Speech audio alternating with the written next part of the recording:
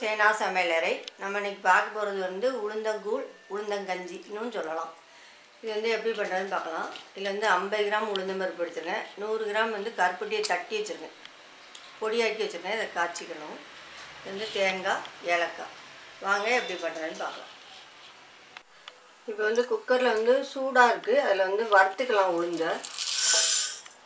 அப்போ தான் வலுவலுன்னு வராது.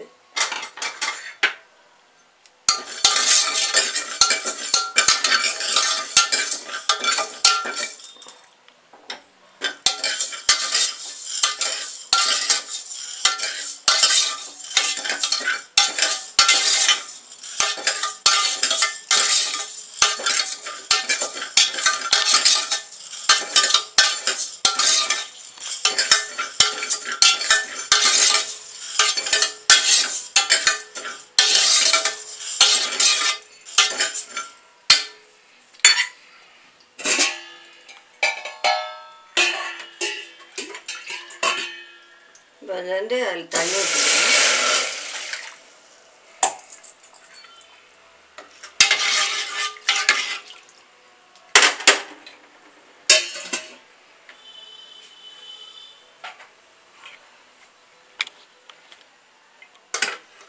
நல்லா மசித அளவுக்கு வெந்த பிறகு பார்க்கலாம்.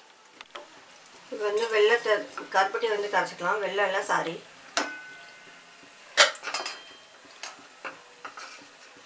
கரைஞ்சா போதும் பாகெல்லாம் வேண்டாம். கரைஞ்சதுக்கப்புறம் பருப்பில் ஊற்றிக்கலாம்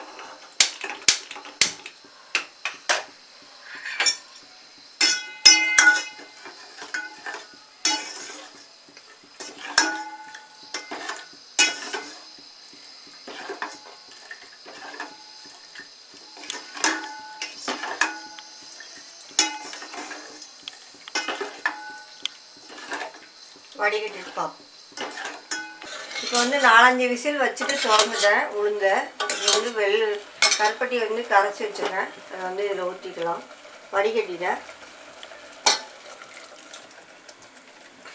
நான் வந்து நூறு தான் போட்டிருக்கேன். உங்களுக்கு எவ்வளோ தேவையோ அளவு பார்த்துட்டு நீங்கள் கூட வேணால் கூட கொடுக்கணும்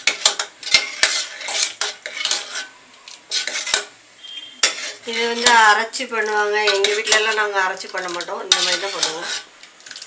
இதுக்கு பதிலாக வெல்லம் கூட சேர்த்துக்கலாம். அதுவும் நல்லா டேஸ்ட்டாக இருக்கும்.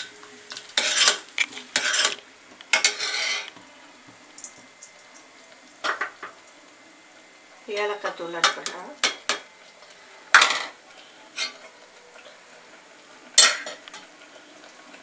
தேங்காய் ஆட் பண்ணிக்கிறேன்.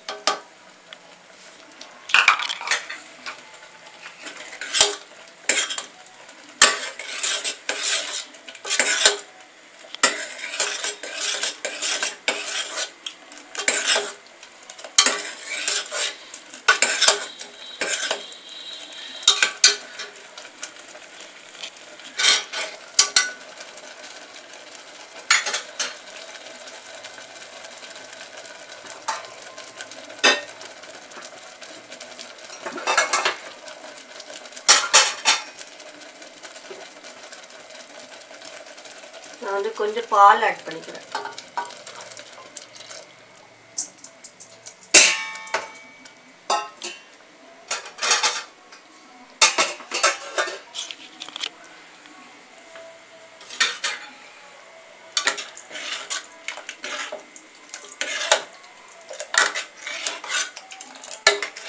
அது வந்து சுட வச்ச பால் தான்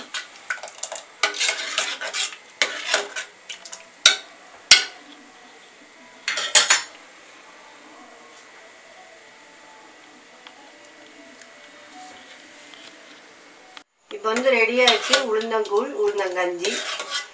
நீங்கள் இனிப்பு மட்டும் இன்னும் கொஞ்சம் போடணும்னா போட்டுக்கோங்க. எனக்கு இவ்வளோ இனிப்பு போதும். அதனால் இவ்வளோ தான் போட்டிருக்கேன். சர்வ் பண்ணிட்டு பார்ப்போம் இப்போ வந்து உளுந்தங்கஞ்சி ரெடி ஆயிடுச்சு இது வந்து ஏஜ் அட்டன் பண்ண குழந்தைங்களுக்கு கொடுக்கலாம்.